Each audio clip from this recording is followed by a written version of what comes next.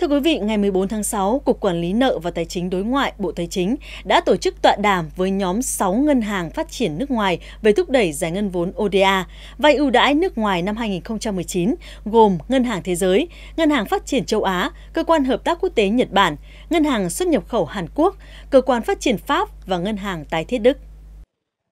Ông Trương Hùng Long, Cục trưởng Cục Quản lý nợ và Tài chính đối ngoại cho biết, tính đến thời điểm ngày 31 tháng 5 năm 2019, lũy kế giải ngân vốn vay ODA, vay ưu đãi nước ngoài 5 tháng đầu năm 2019 là 1,12 tỷ đô la Mỹ, trong đó giải ngân đối với 6 ngân hàng phát triển nêu trên là 811 triệu đô la Mỹ, Tuy nhiên, so với kế hoạch vốn vay ODA, vay ưu đãi nước ngoài năm 2019 được giao, thì tỷ lệ giải ngân vốn vay ODA, vay ưu đãi nước ngoài 5 tháng đầu năm 2019 vẫn rất thấp, mới đạt khoảng 23,84% so với kế hoạch được Thủ tướng Chính phủ giao. Tình hình giải ngân à, vốn à, đầu tư sự cơ bản từ phía ngân sách nhà nước, à, bao gồm cả vốn của trong nước cũng như vốn nước ngoài trong 6 tháng đầu năm là tương đối chậm. À, đặc biệt là cái nguồn vốn à, ODA và vay ưu đãi nước ngoài thì cái tốc độ giải ngân và ghi thu ghi chi vào ngân sách là nó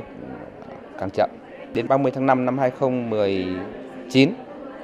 thì à, cái phần à, vốn à, của xây dựng cơ bản mới giải ngân và ghi thu ghi chi được vào ngân sách có 6,2%. Cái vốn chi thường xuyên của năm 2019 thì mới ghi thu ghi chi vào ngân sách được có 11%. Còn à, phần vốn cho vay lại bao gồm cả của địa phương, bao gồm cả vay lại của các cái doanh nghiệp thì nó có cao hơn, nó 18,8%. À, trong đó đặc biệt là phần vay lại của ngân sách địa phương nó rất là thấp, chỉ có 1,2%. Tại hội đàm, đại diện Cục Quản lý nợ và Tài chính đối ngoại cùng các nhà tài trợ tập trung phân tích tới các nguyên nhân vướng mắc ảnh hưởng tiến độ giải ngân vốn vay ODA, vay ưu đãi nước ngoài như nhóm nguyên nhân về phân bổ kế hoạch trung hạn và phân bổ kế hoạch hàng năm, nhóm nguyên nhân về thủ tục điều chỉnh chủ trương đầu tư, thủ tục điều chuyển, điều chỉnh bổ sung kế hoạch vốn trong năm.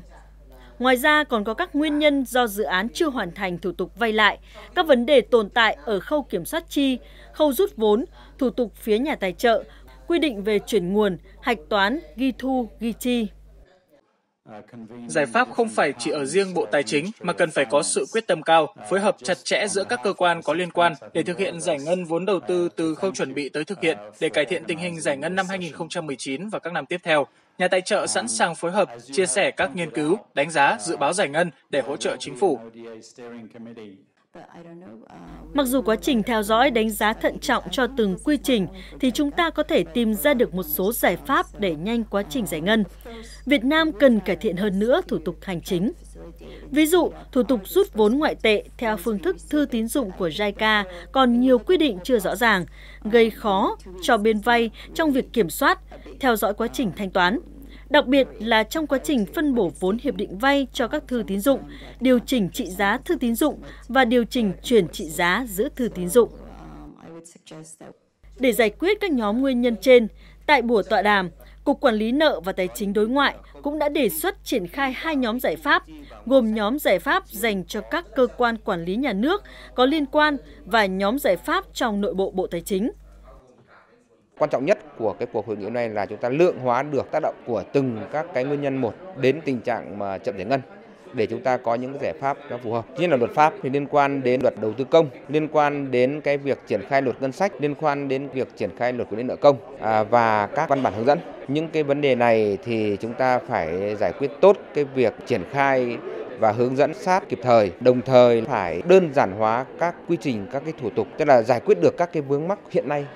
đặc biệt là luật đầu tư công. Điểm thứ hai thì tôi cho rằng là sự sẵn sàng của các chủ dự án. Những dự án chúng ta đã được đưa vào trong kế hoạch, đã được đi ký hiệp định để vay vốn thì các chủ dự án phải chủ động trong việc triển khai các công việc của mình.